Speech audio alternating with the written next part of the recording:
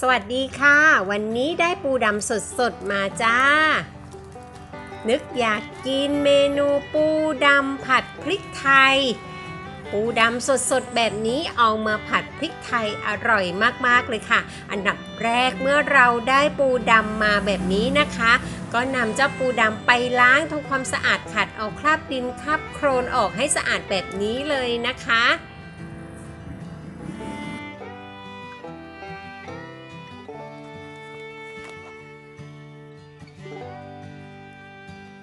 ค่ะ เราไปดูในส่วนประกอบต่างๆกันนะคะ ว่าเมนูนี้ใช้อะไรปรุงกันบ้าง ไปค่ะ อันดับแรกอันนี้คือกระเทียมพริกไทยดำนะคะ พี่ตำรวมกันเรียบร้อยแล้วนะคะ ที่เห็นหน้าตาออกมาเป็นแบบนี้คือตำหยาบๆนะคะ ทั้งกระเทียมและพริกไทยดำซอสสำหรับผัดนะคะ พี่น้องจะใช้ยี่ห้อไหนตามใจชอบ พริกชี้ฟ้าแดงไว้ตกแต่งเพื่อความสวยงามนะคะ น้ำตาลทรายเล็กน้อยจ้า ซีอิ๊วดำหวานนะคะ น้ำมันงาเล็กน้อยจ้า และรสดีค่ะ ถ้าใครไม่ทานก็อาจจะตัดรสด้วยอย่างอื่นได้นะคะ แล้วแต่ความชอบค่ะ แล้วก็ซีอิ๊วขาวนะคะ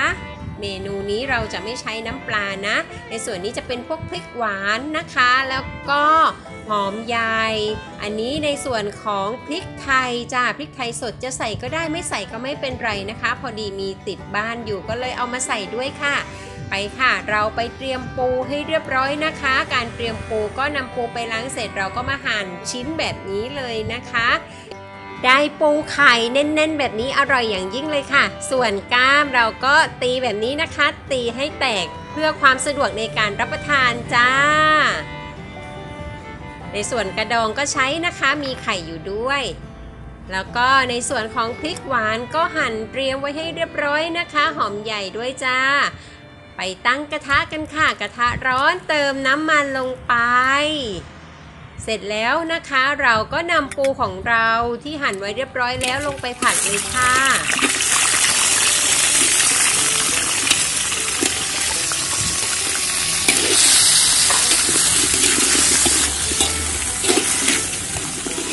เราจะผัดไปจนกว่าปูของเราสุกได้ประมาณหนึ่ง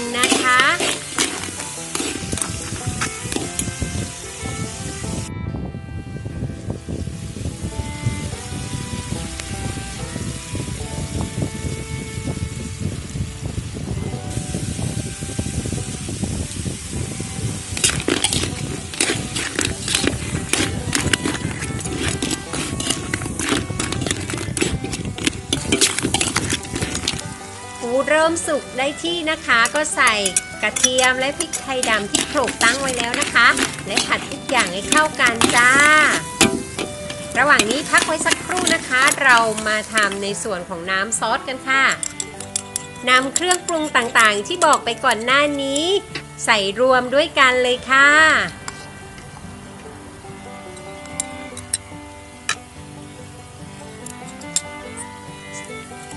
ร็จแล้วเราก็เติมน้ำเปล่าตามลงไปนะคะ เพื่อละลายทุกอย่างให้เข้ากันจ้ะถ้าพี่น้องชอบแบบมีน้ำคลุกคลิกก็เติมน้ำเพิ่มลงไปได้เลยนะคะ เสร็จแล้วนี่ค่ะ ก็เททุกอย่างลงไปในปูของเราที่ผัดรวมกับพริกไทยไว้ค่ะ ผัดน้ำซอสให้เข้ากับปูนะคะ พี่น้องสามารถเติมเพิ่มรสชาติต่างๆ เอาตามความชอบเลยนะคะามารถชิมรสตามใจชอบได้เลยจ้า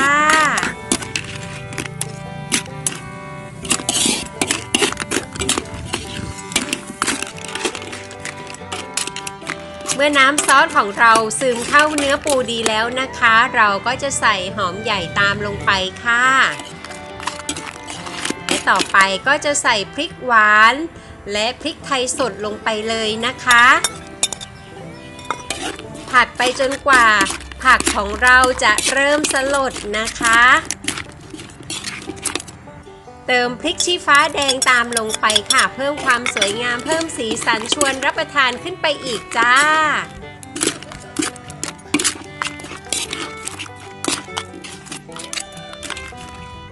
ต่อจากนั้นปิดฝาทิ้งไว้สักครู่นะคะ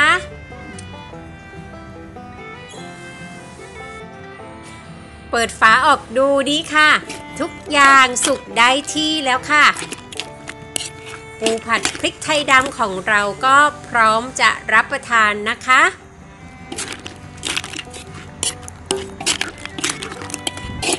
นี่ค่ะสุกได้ที่แบบนี้แล้วจัดการยกลงจากเตาได้เลยจ้า เอาจานมาตักเสิร์ฟกันเลยค่ะพี่น้องขา เมนูนี้เป็นอีกเมนูที่แสนอร่อยนะคะ และเมื่อเข้าไปในพัตคารหรือร้านอาหารแล้ว ราคาก็ค่อนข้างสูงมากเลยทีเดียว จริงๆ กระบวนการขั้นตอนไม่ได้ยากอย่างที่คิดเลยนะคะ ถ้ามีโอกาสเพื่อนๆลองไปทำทานกันดูนะคะรสชาติหรือวัตถุดิบแล้วก็ผักต่างๆ สามารถดัดแปลงเอาตามความชอบได้เลยจ้า เสร็จเรียบร้อยแล้วกับเมนูปูดำผัดพริกไทย หรือภาษาใต้ออกเสียงเรียกว่า ปูดำผัดพริกไทย การทำอาหารทานเองไม่ยากอย่างที่คิดเลยใช่ไหมคะเพื่อนๆคะ ท่านั้นวันนี้ทางช่องก็ต้องขอตัวลาไปรับประทานอาหารกันก่อนนะคะ ฝากกดติดตาม กดเป็นกำลังใจ กด Subscribe ให้พี่ด้วยนะคะ ขอให้พี่น้องทุกท่านอยู่เย็นเป็นสุข เจอกันใหม่เมนูหน้าสำหรับวันนี้ สวัสดีจ้า